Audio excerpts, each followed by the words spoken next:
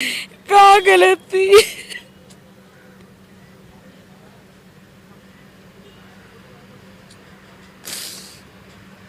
आज उनका एक एडवोकेट आया दूसरा। कहता है कि डाइवोर्स फ़ाइल करने के लिए कहा है।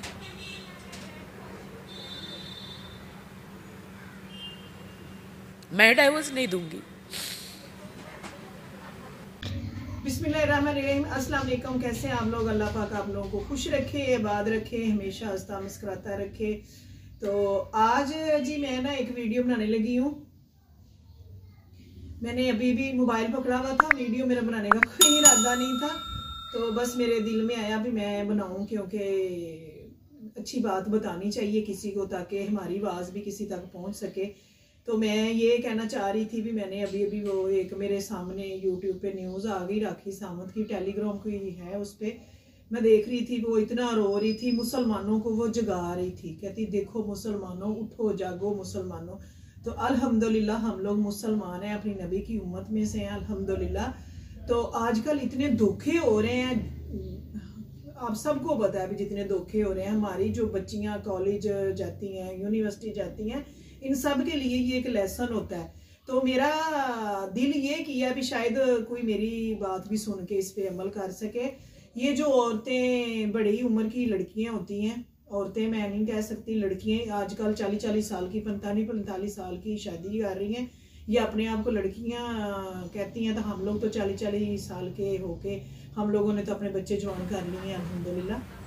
मुझे हमेशा कहना कहते गए शादी के बाद मैं सिर्फ़ तुमसे प्यार छोटे करता हूँ। लड़के की उम्र से जो लड़का होता है ना अपने से छोटी उम्र का लड़का ये नहीं कि चालीस बतालीस साल की लड़की पच्चीस छब्बीस साल के सताईस साल के लड़के के साथ कर लेती है शादी और वो बच्चे लड़के का होता है बचकाना बाद में वो आगे जाके लड़कियों को फिर धोखा दे देते हैं औरतों को।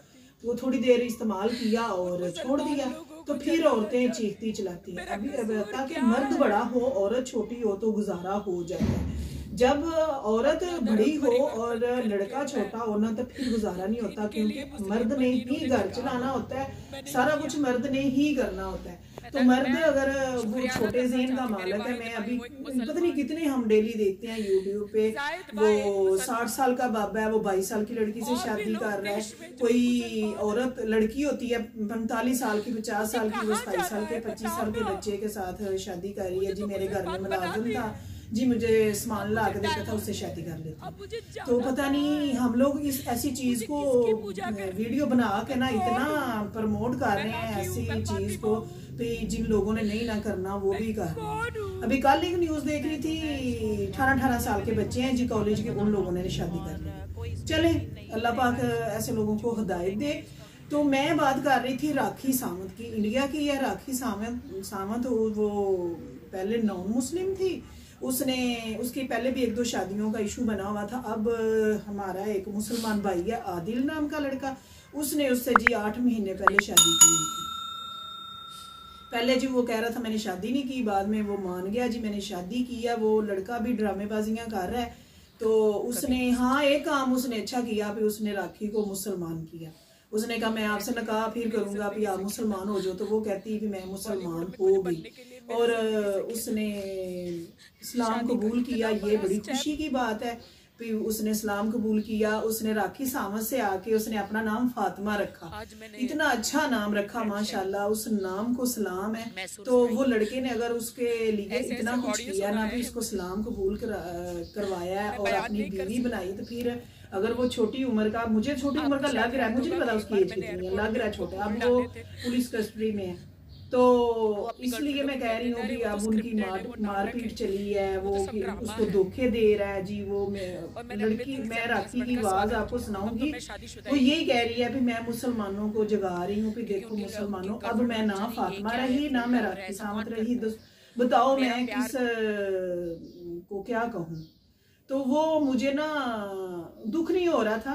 देख के थोड़ी सी मायूसी हो रही थी कि हम लोग मचोर हैं अगर बच्चियाँ बच्चे ये काम करें ना तो फिर समझ में आता है।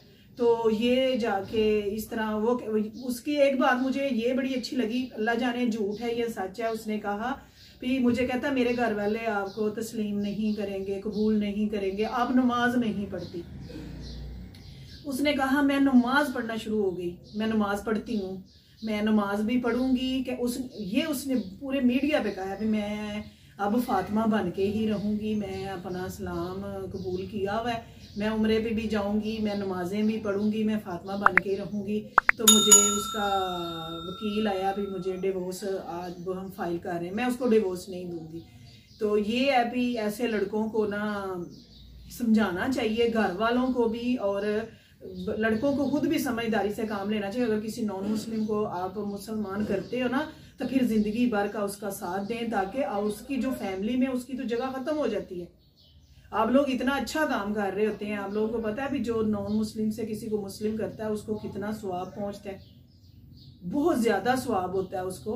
तो आप, मेरा आज यही था भी प्लीज़ आप, हमारी जो बड़ी औरतें हैं या लड़की हैं या कुछ भी इस तरह का कदम उठाएँ तो सोच समझ के उठाएँ, हमसे गलतियाँ हो जाती हैं।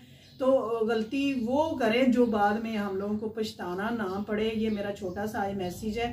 तो वो बड़ा रो रही थी राखी सामत मैं दिखाऊँगी अपनी वीडियो में बहुत ज़्यादा रो रही थी, कहती मैं फातिमा बनूं के राखी बनूं। तो अगर उसको मुसलमान किया गया तो इतनी मीडिया पे बात फैल चुकी है तो उनका पैचअप करवा दिया जाए ताकि वो एक मुसलमान लड़की बन गई है। ज़ाहिर बात है, उस इंडिया में रहना उसके लिए भी मुश्किल हो जाएगा, या उसको कोई आप ये जो नॉन मुस्लिम होते हैं, फिर बाद में उसको टॉर्चर करेंगे कि आपने इस्लाम कबूल किया तो आप क्या कर रहे हो? तो मेरा यही मैसेज है, ज़्यादा मैं बड़ी नहीं खींचूँगी। मेरी आज की वीडियो अच्छी लगे तो लाइक सब्सक्राइब शेयर ज़रूर करना और दुआओं में याद रखना और ऐसे लोगों के लिए भी दुआ करना। भी अल्लाह पाक हर जो भी शादीशुदा जोड़े हैं, उनके घर में सलूक इतफाक अल्लाह पाक दे। और हँसी खुशी अपने घर में रहें और ये नहीं है कि हम मर्ज़ी से एक के साथ शादी कर लेते हैं तो बाहर और लड़कियों के पीछे वो भाग रहा है, फिर रहा है। तो उसको अल्लाह पाक हदायत दे।